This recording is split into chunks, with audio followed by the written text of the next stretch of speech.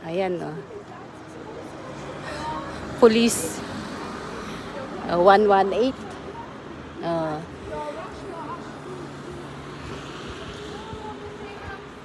uh, tibo pa.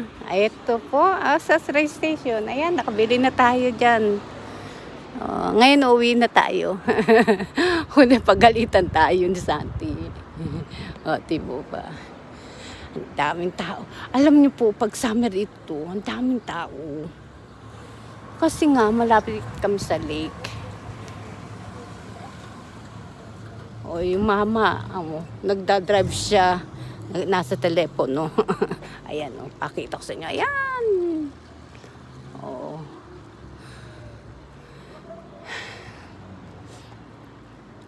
Etong nakabisikletang yan, may sakit po siya. Kaya, tinutulungan siya ng gobyerno rito. Hindi siya nagtatrabaho. Pensyonado ng gobyerno. Bata pa siya, hindi pa siya pensyonado. Yung nakabisikleta, ha? Tama ka, ito lang po, chismosan yung kapitbahay. Ang ganda ng sasakyan niya. O, di ba? Pang summer.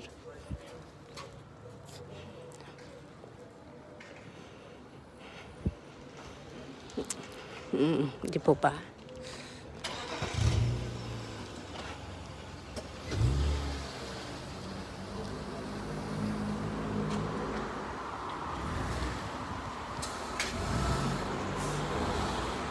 Ito po, butika. Pag kailangan may reseta. Pero may butika naman na kahit walang reseta kasi yung mga gamot nila hindi naman ma mabababa lang ang dosage. Ganun po. Ayan na ang bus. So, every 30 minutes kasi ang bus. Tama yung mga nakabisikleta. Oh. Kailangan po kasi mga bata rito naka-helmet para ano ba tawag doon pag na pag na-disgrasya meron po siyang protection sa ulo yun di po ba oo tsaka alam niyo po kasi bankrupt, baksak ang ekonomiya dito sa lugar namin. Kaya pinagaganda nila, tignan nyo. Pinagaganda ng gobyerno, naglagay sila ng ganyan. Nito. Magkano yan, no? Diyos mi, Mama Mia. Tapos, yung bulaklak, pang ano lang po yan. Yung pang Easter, hindi po pang summer. Iba po ang bulaklak na pang summer dito. Hmm. Ayan. Ano daw po yan? Signal ng mga bandera. Nagsisimbolo daw po sila. Oh, pero hindi ko naman alam kasi kung anong mga banderang yan. A, B, C, D hanggang Z. Z. Oh. Po ba? Pero hanggang, ayun lang naman ah, isa, dalawa, tatlo, apat na bandera. O, apat na bandera. Ito, dalawa lang. Tapos ito yung hilera lang dun hanggang dun lang. Hindi naman nila binubuo. Inaano lang kasi nila yung itong papuntang train station. Tsaka itong kabaan na to. Nilagyan na nila ng dekorasyon. At ito yung sinasabi kong bakery. Ah. Daan tayo dito. nasarado siya pero nagtayo siya sa doon sa lake oh, dito na tayo dadaan oh, tapos dito yung police ang police na andun lang sa opisina ayan no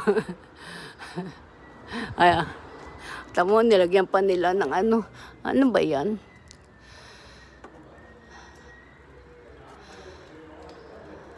Nilagyan nila ng ano. Hmm.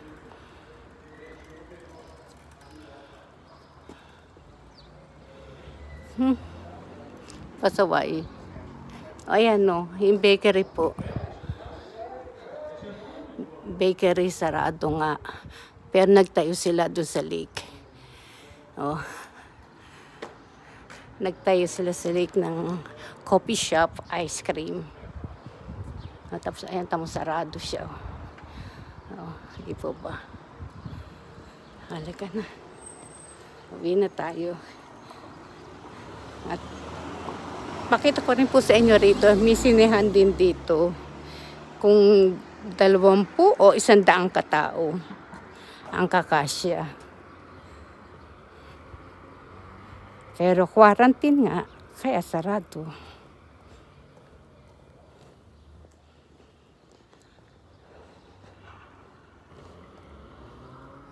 Ano yun? Nasira na yung puno. Ang galing naman lang. Ayan, pagkakaano. Alam niyo po, masakit sa balat yung araw. Pero malamig. Totoo lang. Oh. Halika na. Oh.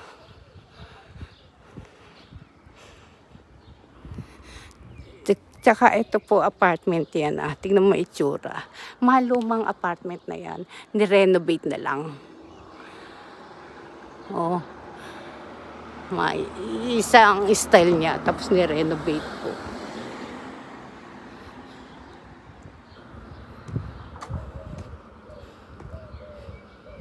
Mm. Diba?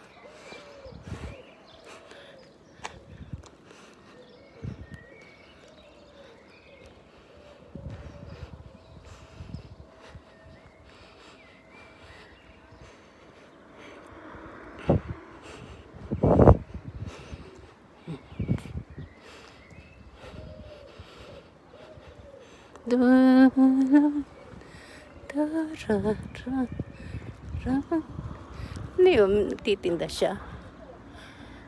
Oo. Titinda ng halaman. Or kulay. Ito, tinanggal niya yung mga puno niyang malalaki dito. Dati, natatakpan siya. Ngayon, kitang-kita na siya sa loob. Oh. Mayaman to. Oo. Dalawa lang ang nakatira sa malaking bahay. Oh. Di po ba?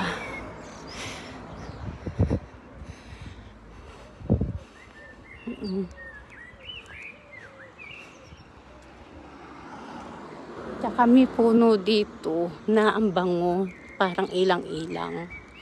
Ayun, dumaan nga po ako. Amoy siya, yung bulaklak. Ayan po ang sinehan dito. Oh, ano, nire-renovate siya. Oh. Tapos eskwelahan po yan, grade school. Oh. Di po ba? Kino.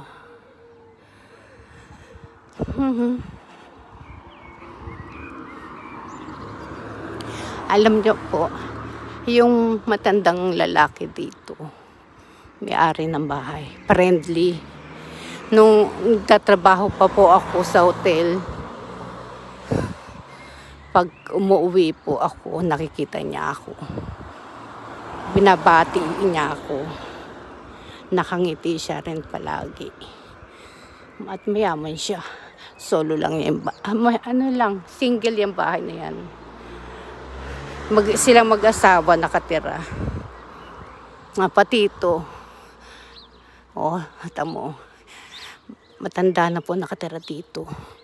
Pero yung anak niya kasama niya. Kita ko po kasi nung minsan pinalilinis nila to. Pero hinayaan nila na gumaganyan yan. Yung bahay nila. Oh. Tapos, ayan.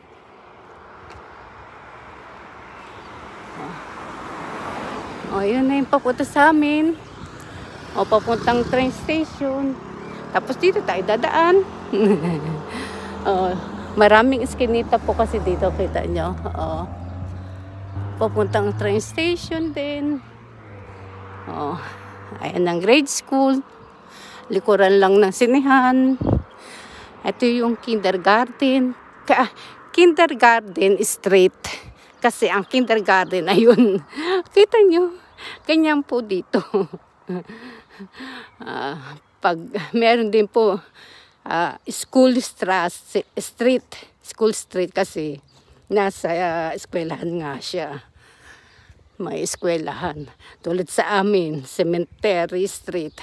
Dahil kapitbahay namin sementeryo. Itong ganda. oh. Isa lang may-ari ng bahay. At friendly siya. Na, ah, kasi dumungaw. Yung babae, kakalala niya yung dumaan. Pinati niya. O, di po ba? Hmm.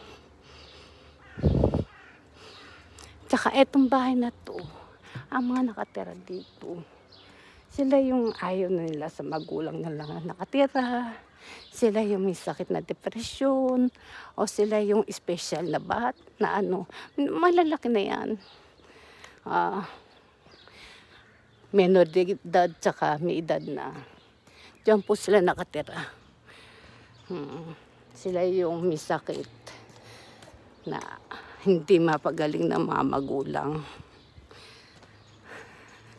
Saka dito po, kahit na special lang ang tao, yung parang retarded po, masasa, mental health, nag, meron po sila ditong trabaho.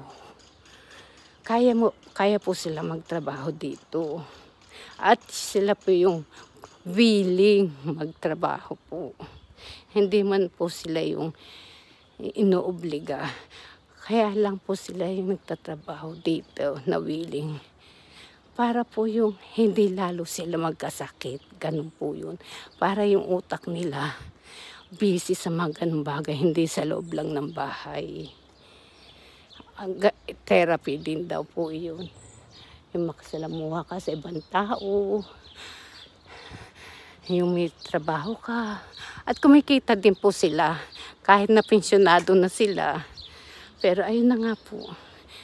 Dahil, pero, mula nung quarantine, parang hindi ko na po naano sila nakikita. Siguro, pinagbawal sila. Dahil nga sila yung especially, sila yung mahina rin ng immune system. Ganun po. makita man siguro yung hinahatid na lang, hindi na yung pinaglalakad o sasakay pa ng bus o sasakay ng train. Kasi makikita mo po sila, nakasabay sila ng iba, sumasakay sila sa bus, sa train. Meron pa nga taga sa kalsada, yung lalaki, mura siya ng mura. Hanggang sa train station, dito ah, hanggang sa train station. Mura siya ng mura. Kung yung ibang tao na hindi siya kakilala, tagang mabubugbog siya.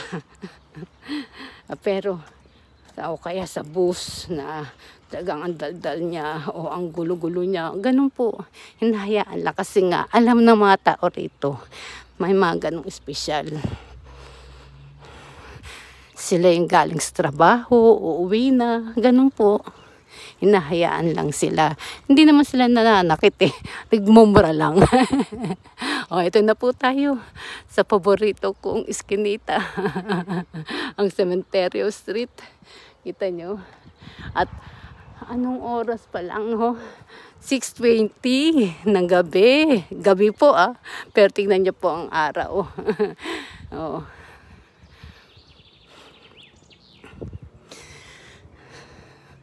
magtatayo po ng bagong building dito.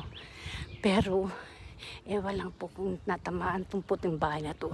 Kasi, mula doon sa kanto, yung likuran din yan, nililinis na. Itong lumang bahay eh, tinama, ah, unti-unti na rin winawasak eh. Pero ito po, meron kasi siyang nakalagay na poste. Ayun. O, sige po, hanggang dito na lang. Ito po ang chismosa niyong kapitbahay. Dito lang po sa paborito kong iskinita. Ang Cementerio Street.